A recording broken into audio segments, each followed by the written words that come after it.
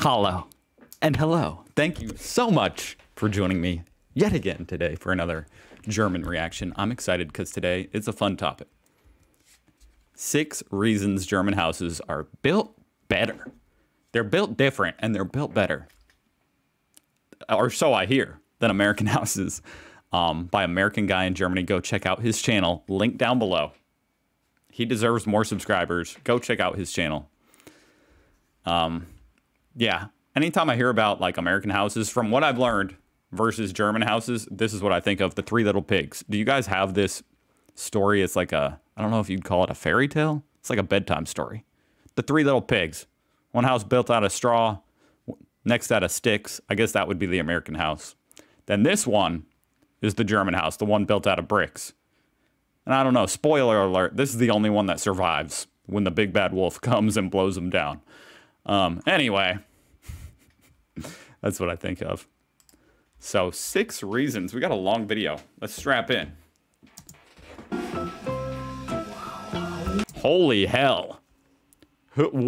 What is this door meant to keep out? Or what are they trying to keep in? But seriously, this door is insane. Insane. That's what we need over here in America. I mean, with the Second Amendment and stuff, we need like bulletproof houses. What the heck is that? I mean, are you serious? Look at this handle. That can't be normal. oh, now the video is not going to play. Hold on. Okay. Come on in. Wow. Wee wow. Hi, Tom. Door is so thick. Dang, that is a thick door. Let me just put my backpack here. That looks like a door to a bank. Like the, the safe. Uh, in the cap. Wait, where's the closet? There is no closet. Uh-huh, okay. But you can put it on the floor. I'll just put it here for now. I'm actually kind of shocked. I would think, I don't know, the way I view Germans, I would think they would be like, no, you must put it in the closet over here. That's the designated area we have built for the bags and the shoes go beneath them. This is kind of surprising. Let's check out the living room. Nice. Tiles on The the cool house. Nice open space. Lots of light. All this light, I think, whew, it's gonna be pretty hot in the summertime. Actually, in Germany, it's getting pretty warm. It's warm, isn't it? Where's the AC? Where's the AC? Let me turn that off. Is this the AC? No, that's the heating system. You can What? adjust the heating. Right, because you guys do have heating. Where's the air There's no? AC. I'm afraid to say there is no air conditioning in German houses. You I thought this was six reasons they're better. So far, I'm like, no closet by the entry, no AC. won't find them. The door is definitely better. Let's go in the kitchen and make a sandwich. It's over there. Okay. Is the kitchen? Yes, it's supposed to be the Weird. kitchen. Uh-huh. There's a door to the kitchen. Why are you looking so strange?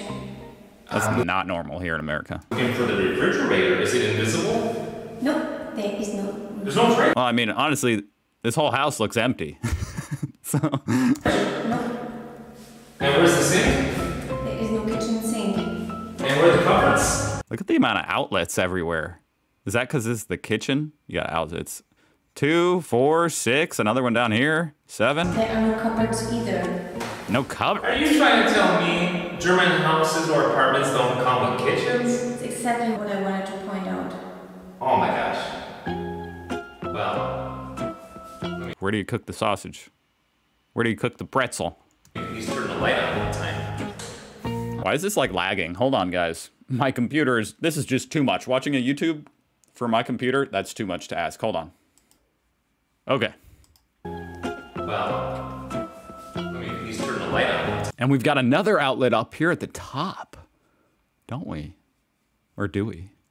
I think we do. That didn't work. I'm afraid I've never seen an outlet that high up on the ceiling. no light. No light. What? German houses don't come with lights? No, you have to buy them yourself. Well, what happens if I have to pee? Do German houses come with toilets? Yes, they do! Thank God. All right. Okay, so this is kind of odd.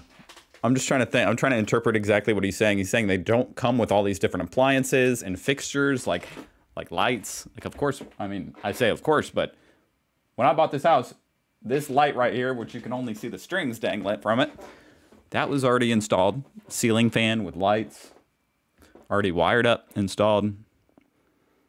So you're telling me when you move, you take the ceiling fans, or you do you have ceiling fans? You take the refrigerator when you move? That's a hassle.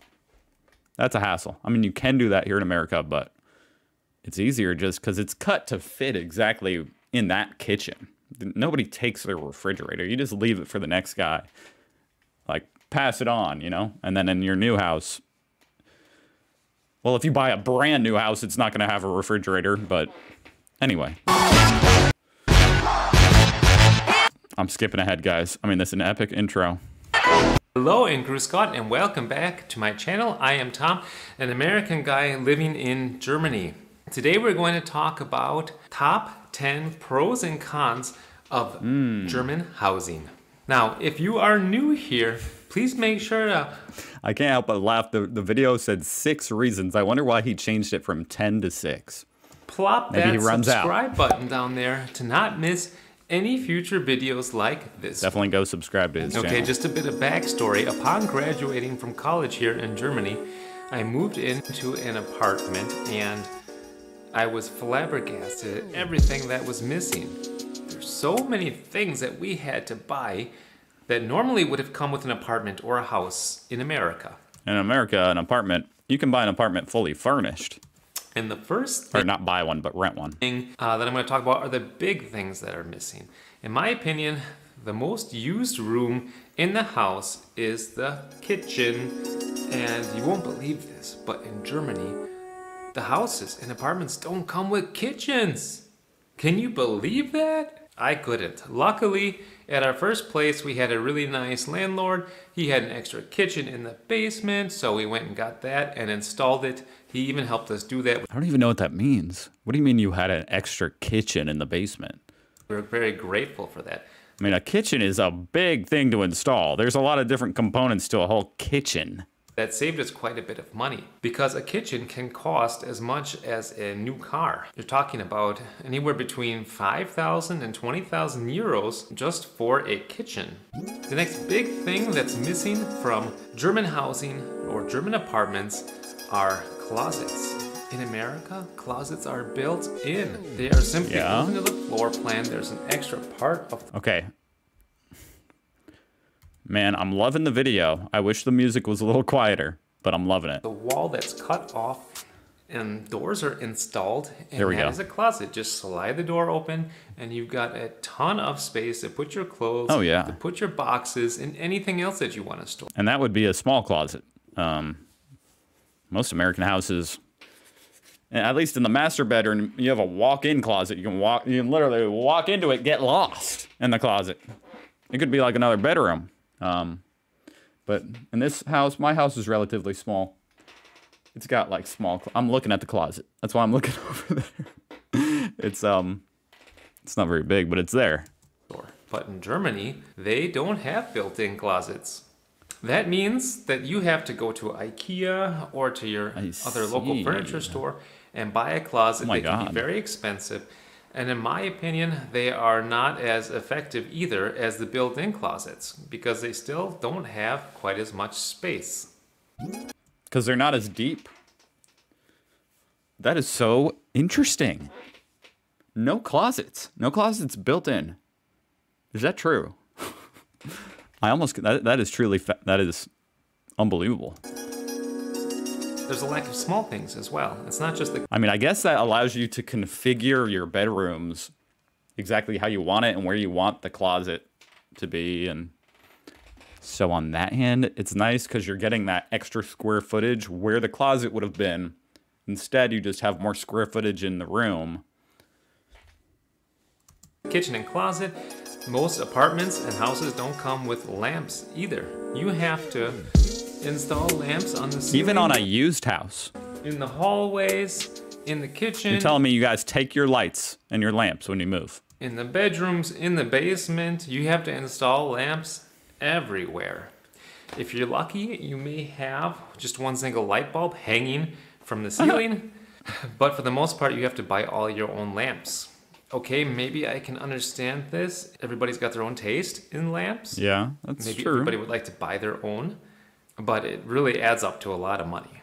And in American housing, the lamp But the thing is, when you, that's the kind of thing you move houses. That house might be a completely different style. Like, it's kind of like the refrigerator. Like, I don't see a point in taking my lamps that are in the ceiling. Floor lamps is different, but the ones on the ceiling, like, I don't know. I mean, it's safe to assume the house I'm moving into already has them built in, and they probably fit the style of the house. So, I don't want to take these ones. are just there. And if you're lucky, you'll even get a ceiling fan with a lamp Yeah, um, which is also nice, especially in the summertime when it's hot. Um, the second small thing that is missing from German houses and apartments are curtains. I can't That's my son's bedroom, and he has a baby-sized ceiling fan. It's like this big. can't remember if American houses come with these or not. Oh, come with what? Sorry. That's hot. Um, the second small thing that is missing from German houses and apartments are curtains. I can't remember if American houses come with these or not. Most not. do. But curtains Mine did. can cost you hundreds of dollars just for each window. That's crazy. When we first That is insane. Wow, man. Who comes up with this stuff? Like, I guess I need to sell curtains. moved into our apartment together, my wife and I, uh, she wanted to get curtains. And I said, okay, let's go take a look. I couldn't believe how expensive they were just for some fabric. Point number three stuff that's That is missing from. German housing are the lack of comfort features. And what I'm talking about are on the win- That's why you guys are tough. windows, for example, there are no screens. Can you believe that? These are beautiful houses. And you guys have to air out the house, too. So you air out the house, it's just wide open. Don't the bugs come in? You guys just fight the bugs? that are built here and the windows are really nice but don't come with screens so that means that anything from the outside can come in if the window's open come on in flies come on in mosquitoes come on in bees let's have an insect party and uh, the second comfort feature that's missing from German housing is air conditioning. So I made a video about the lack of air conditioning in Germany, and I can kind of understand it.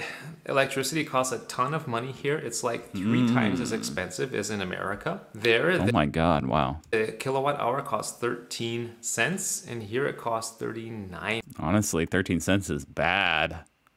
Mine doesn't cost 13 cents here in Indiana. Mine costs like 7.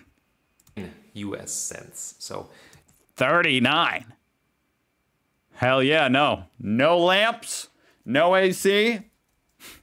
No, not for 39 cents. It's literally three times hour. more expensive. It probably just would cost too much money to run air conditioning. Plus, in America, we have No one has ever said that. I have I've seen people talk about the lack of AC in Germany. I've not heard a single person ever say it's because of the the cost of energy. That's interesting. But what if you had solar pa- panels on your on your roof? Cuz I mean, it's it's possible to have a house that runs almost entirely off solar, so then and that includes the AC. vents that go underneath the house to each room Yeah. from the central air conditioning and the central heater. And that way you can distribute the cold air. In Germany, they don't have any vents. So it wouldn't really work anyway. Okay, I'm just about So do you even have a crawl space under my house or every every house? You know, I guess you do for the plumbing. Like if something breaks with the AC, you got to go under the house, at least you know sometimes, to patch it up, whatever. done talking about the cons of the housing in Germany, and soon we're going to get to the good points. The fourth thing is that because it's so densely populated in Germany, you have very tiny, tiny mini garages, and you have really mm. small yards in many Well, I don't even have a garage, so I can't even say anything. many parts of Germany. Have you ever heard that expression, Handtuchgarten? That means No. that the yard is so small that you could cover it with a beach towel. Now, maybe that's a bit of a I would love that. I would love that right about now. I'm sick and tired of mowing my lawn. to just go be able to go out there with the lawnmower and go like this. Done. That would be great. hyperbole statement, but there are some yards that are really just that tiny. That is the reason it That's took funny. us so long to go in between our first apartment and the second house that we just got kicked out of because we always wanted space. The first house luckily had space outside, and the second one did too. And our third I'm sure if you go out in the country, you can get more land, right? rental house that we're moving into luckily also has a yard. But many people do not share this luxury, and that is a shame. Now, if you live somewhere I saw his question pop up. How do kids people play do not share this luxury. if you don't have a yard? Which is an interesting question, but I can imagine it actually encourages kids to be more social. Um, you know, collaborate together to play, like meet at the park, walk to the park, ride their bicycles to the park, and play out there together, rather than when a lot of yards here in America are fenced off and it's it's kind of isolated. Like it feels kind of isolated.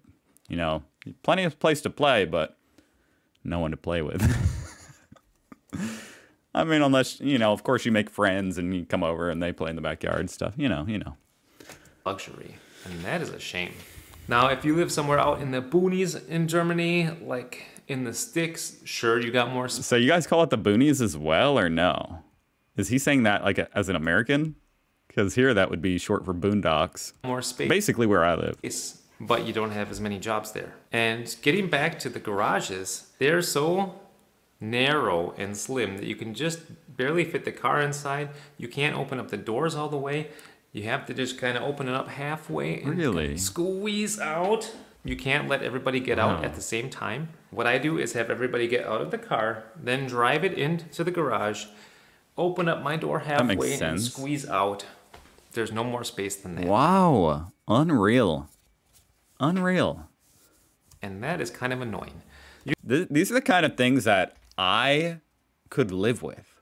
I really could. Like, I don't need, I don't need, you know, all this extra room. But my wife, my wife, I don't think she could do it. Like, that's how I, I vision, like, okay, if me and my wife and son moved to Germany, she would, having no AC and then having to squeeze into the car and stuff. These are the kind of things that certain people when they live with it i don't know if you could it would be hard to live without it'd be hard to adapt You can forget about two car garages like you have in Hmm. America. We've already talked about a lot of then again i don't even have a garage like i said so cons about German housing, and now it's time to talk about the positive. And there's a lot positive about German houses and how they're built.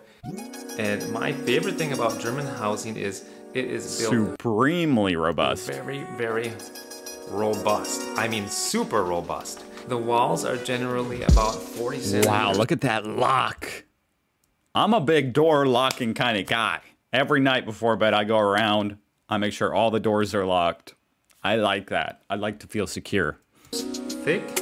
They are made generally. i mean and honestly here in america even if you lock your doors they can be kicked in I mean, the police literally do it. You can go watch. You know, it's not hard. Kicking a door, even if even if it's dead bolted, because it's screwed into a wooden frame, and it's a wood door, and something's gonna crack. So, this looks pretty cool. generally from brick, like cinder block, Wow. or 40 centimeter thick wooden walls. So, That's I mean, amazing. That is just really excellent for the strength of the house and also for insulation. The reason that they need to build the houses Hmm. so robustly has also to do with the roof. They put these like terracotta clay kind of shingles on top. They're super heavy. And because of that, you need a strong roof construction and a strong static How often do you have to replace a roof? Because here in America, we use, you know, flimsy little shingles that fall apart, blow away in the wind. You're supposed to replace your roof like every 10 years. the house. In fact, And I it's expensive. I think that the German roofs, they've got to be 10 times stronger than an American roof. Because if you look at the rafters that we have in America, they're like this thick and they just abut to each other like this. It is, it looks like a dollhouse. And in Germany, they're like this thick. Wow. To wrap up, German Damn. houses are just strong, they're robust, and So Germany would survive nuclear fallout. if stuff starts to go really bad and the world does seem to be going crazy. You guys know what I mean? Like, oh my gosh, with everything going on, it's like, damn, I kind of wish my house could survive anything. And I appreciate that.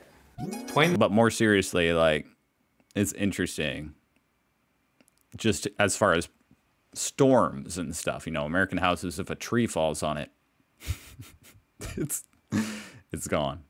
Like I could go, man, I wish I could take you guys with me right now, right up the street. Tree fell on a house, the house is in half. Number two, which is really cool about German houses, is a lot of them have floor heating. So you walk No on tile floors or wooden floors, and for the most part, I think it's really That's a huge luxury here in America. I've never seen it. I can't believe that. You guys live with that luxury? That's so funny. You don't have AC, but you have heated floors. an advantage to have this floor heating, especially in the winter time. You can walk around uh, in your socks and your feet don't get cold. Talking about floor heating, did you know? So you guys are all right with being too hot, but you don't like being too cold. You got the heaters, you got the heated floor. You don't like being cold. But being too hot, you, you're all right with that. Okay. that most Germans, all of the ones I know, don't wear shoes in the house. I know that a good number of Americans do wear shoes in the house, and in Germany they don't. So, since they're taking their shoes off, floor heating is really excellent in the winter time so that their feet don't get cold. Okay, the third That's definitely a 50 50 kind of thing. Like some people wear shoes in their house. I don't. point that I really appreciate about German houses, and I touched on this just before, are the And honestly, it is kind of rude to just walk into someone's house without at least asking if you should take your shoes off or just take your shoes off. That's a polite thing to do. roofs, and in particular a But some people will be like, no, don't worry about it. Sichtdachstuhl. And what that is is like an open roof where you can see all the rafters, you can see all the wood in heck? general that's needed for the roof, Whoa. and it just looks super duper pretty. That is really awesome. This would be covered up by, you know, we have an attic here in America. Is there no attic here? That's straight to the roof. Mo- almost every house here in America has an attic. Wow, this is beautiful though.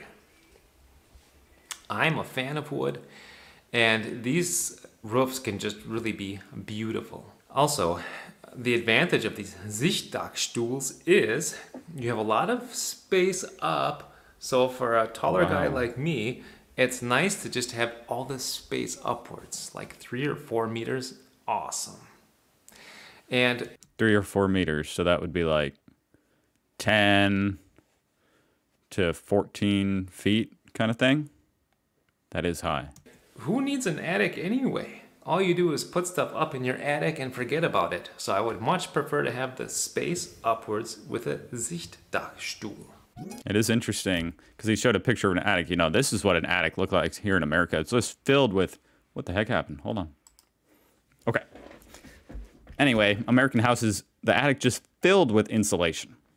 You know, they're so the the the, the roof is so thin, the beams are so thin, the horribly insulated. So you have to insulate your entire attic. That's a big thing for the efficiency of your house.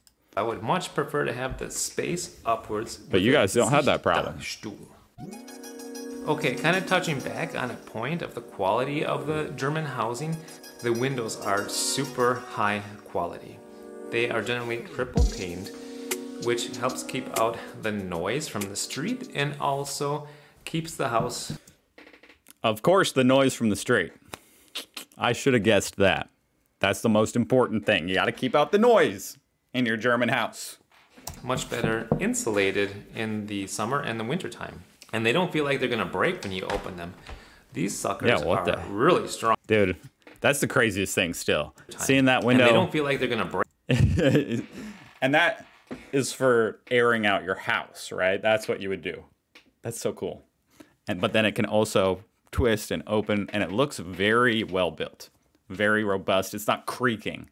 Any window in this house here, in my house, you would probably struggle to open it.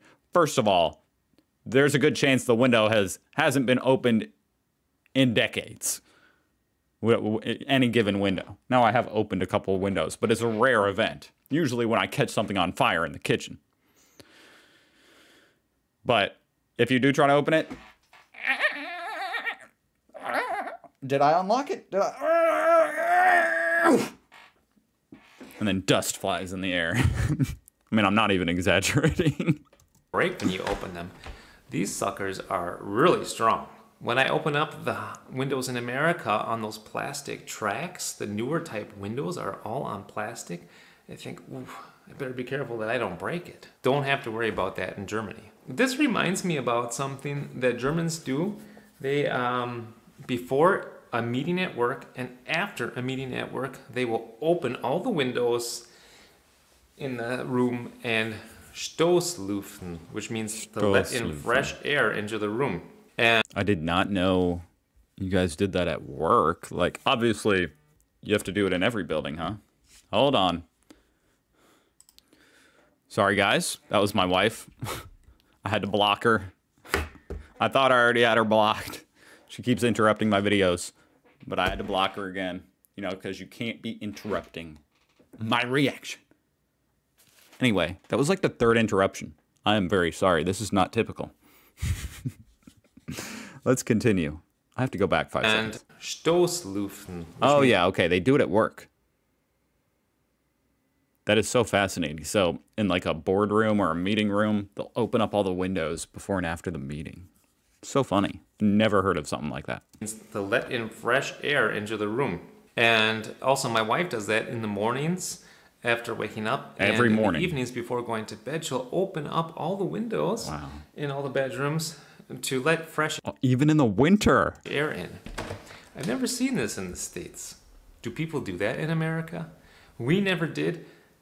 And maybe No. it's because it's climate controlled with air conditioning or with Yeah. heat, but I think you need circulation, right? Or else I don't know, mold or something. it could also just be that people don't think about airing out their house.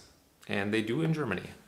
I have. I definitely had never thought about it. give Germany some real good praise for their energy efficient construction. I touched on this also in my um, video about no air conditioning in Germany and the fact that instead of having air conditioning, the Germans just build much more efficiently.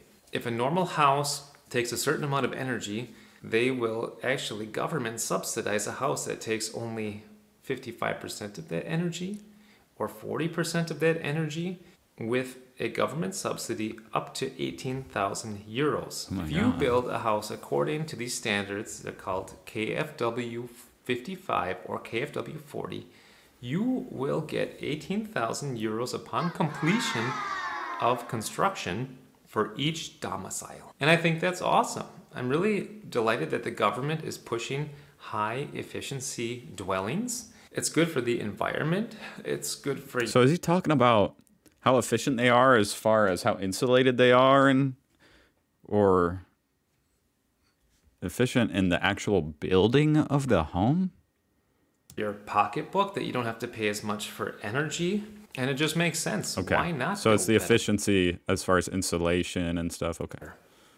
I haven't seen much of a difference in the construction of houses in America in the last 50 years, and I wonder when that's going to change. All right, point number I'm pretty sure they just do it as cheaply as possible. Then it's your problem. you know, they'll sell you a house, they'll build it as chippy as possible, and then from there it's your problem. six that I think is really cool about they don't care if something's going to break in 10 years. housing is how innovative they are too with heating systems. So in really old houses, actually you'll see a wood heater, a wood stove, and people will actually still heat with wood. Okay, that's unusual at this point, but it still does happen. Hmm. Then the next technology is the oil heating. You've got these huge oil tanks and an oil heater Never seen these things. Never in my life. that will heat up the house. The So, how much oil you got to be buying? You got to refill those jugs like what you go to the You go to the store and buy a big jug of oil? Never heard of this. Got these huge Look at that. So where is that located? oil Is that under the house? Doesn't look like it. tanks and an oil heater that will heat up the house. The third thing that has come about recently is a pellet Why have I never heard of people just use natural gas here in America? heating system. So you just take these little tiny pellets, which are normally uh, actually discarded from construction. And they, they press these pieces of wood into little pellets, and then you can heat with that. So that's really efficient use of this extra wood material. That's pretty cool. I've never heard of either of these heating methods. I mean, here in America, you don't have to worry about your heating or even how it's powered or whatever. It's just until something goes wrong, you just flip it on, flip it off, and it works. Um, but it sounds like you guys, you- you're you guys are like, yeah, we, we gotta get some more pellets or some more oil.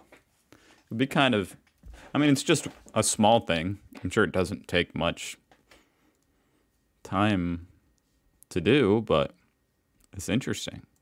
And the government It's kind of cool. subsidizes these pellets as well.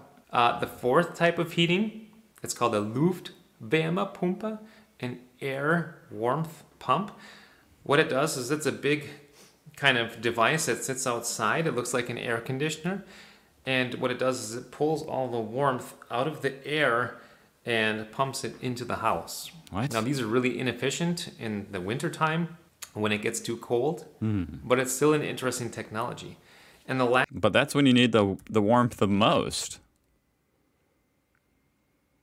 Someone who has one of these needs to explain how that makes much sense because it stops working very good or it's very inefficient when you need it the most. That's kind of un- unfortunate. And the last one that I want to mention is the geothermal pump.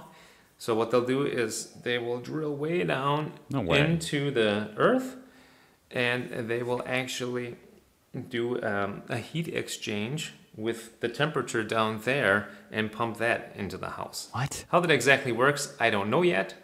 You're going down to the Earth's core and getting heat from there? But I plan Y'all are nuts. I mean, it's in a good way. to research it in the future. Whatever the case, the last three that I mentioned the pellets, the Luftwärmepumpe, and the geothermal uh, heat pump those are really cool things. New technologies that I think You don't need are chimney. very interesting, and I would like to see something like this hit America as well. Hey guys, as a little bonus, I want to show you what our new kitchen looks like. Come, let's take yes, a look. please. Here we've got a little microwave. Okay. They're not cool. that big in Germany.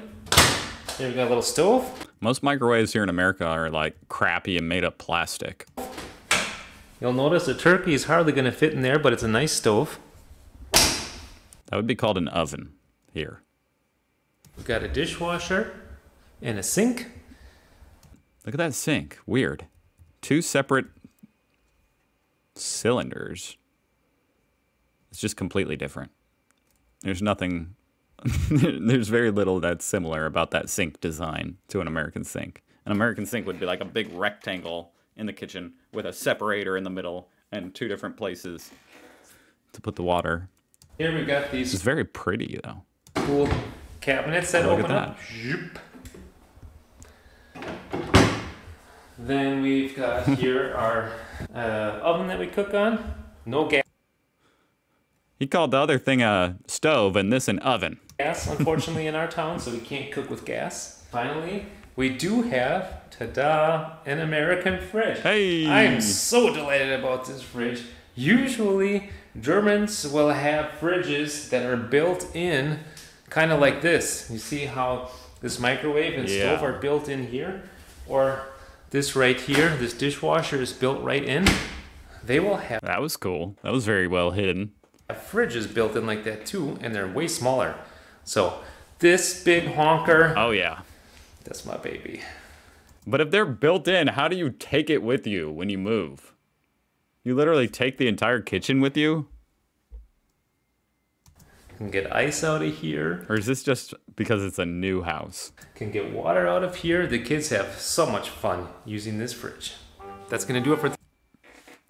You gotta give it to the Americans. We know how to build a big ah fridge.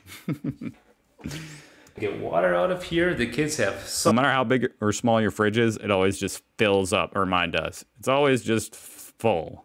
So much fun using this fridge. That's gonna Our fridge is actually small. Mine, because this is a relatively small house. Our fridge is only, it's a lot smaller than that one. Almost half as small. Do it for today. Thanks so much for watching. Until next time, I say Pfiat euch and ciao. Awesome. That was a great video. Whoa. American guy in Germany. Go check him out. Thank you so much for watching. That was a long one, fellas. I hope you guys are having a good day.